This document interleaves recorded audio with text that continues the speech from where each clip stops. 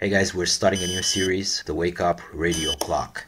I designed this and built it a while ago and I'm using it ever since. This thing is awesome, it has all the functions you may need in a radio alarm clock and uh, if you're missing something you can easily implement new functions yourself because this thing is completely open source, uh, both hardware and software. Uh, you're gonna find links in the description for everything, schematics of the hardware, Gerber files, all the software for the microcontroller, the files for the 3D printed parts, and also there's a PC application I wrote to add your own channels. Uh, watch the whole series. I'm gonna get into details and explain how I built it, how everything works. So uh, if you needed a reason to stop buying stuff and start building something yourself, uh, this whole series is gonna show you how to do it. And uh, no money in the world can buy the feeling you'll get when you complete a project like this. Good news is uh, I'm doing another giveaway. You can win one of the five copies of the PCB. All you have to do is make sure to subscribe to my channel if you haven't already and uh, leave a comment. Tell me which one of the projects I uploaded so far you enjoyed the most. I'm gonna pick the winners at the end of the series and uh, they're gonna get a message from me.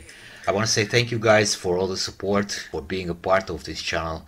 It really inspires me to be better and uh, it really means a lot. So thank you all, enjoy this series and with that being said, let's do this.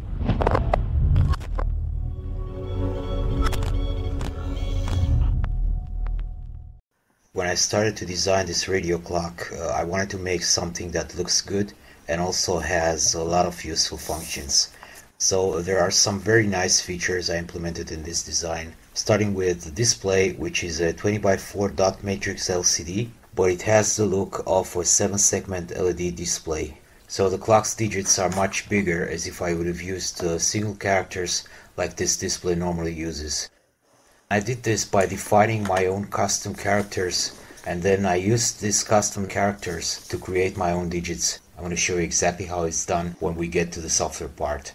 Much of this information I'm giving you can be used uh, in every kind of project, uh, so bear with me. And uh, if I forget something, just let me know in the comments and I'll get back to you.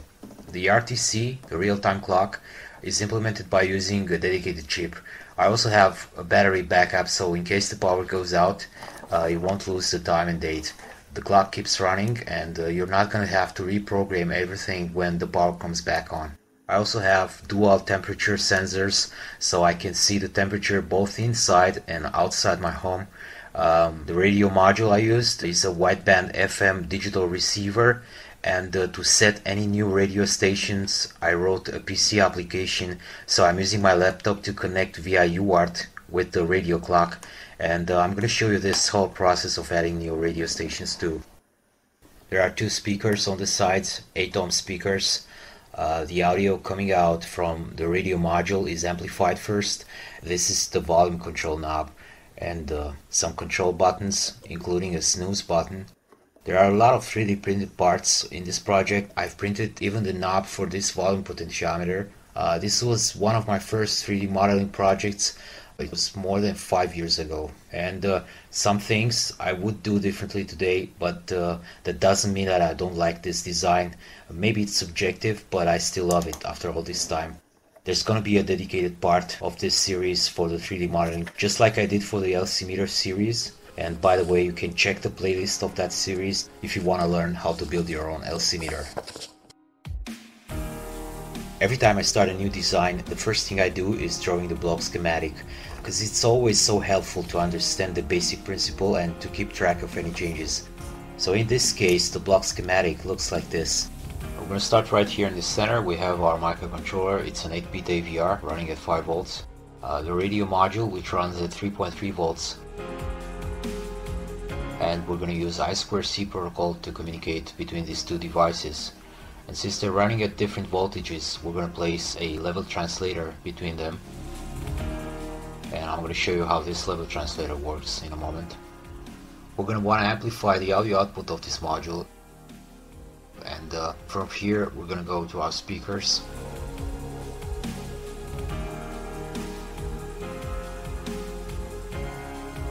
Uh, we're also going to use I2C to speak with the RTC, the real-time clock but since we're running the RTC at 5 volts we don't need a level translator. Have a backup battery for the clock here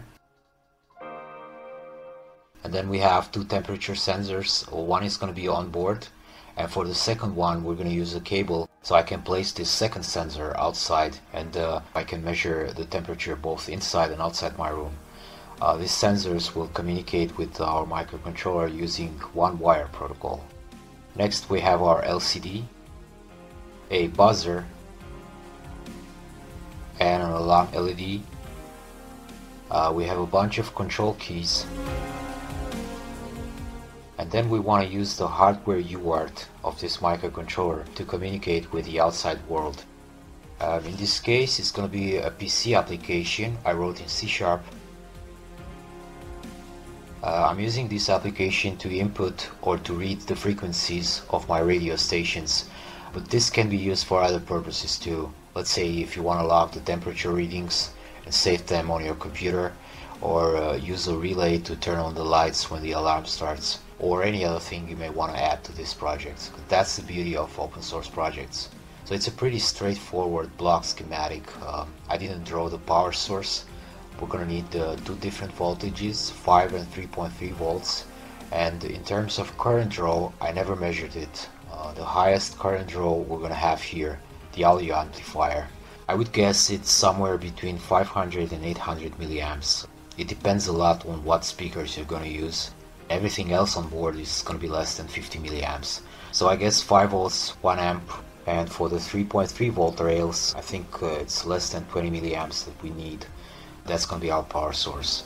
I'm going to have to check with the datasheet for this module, but uh, I guess it's less than 20 milliamps. That's basically what the whole hardware should look like.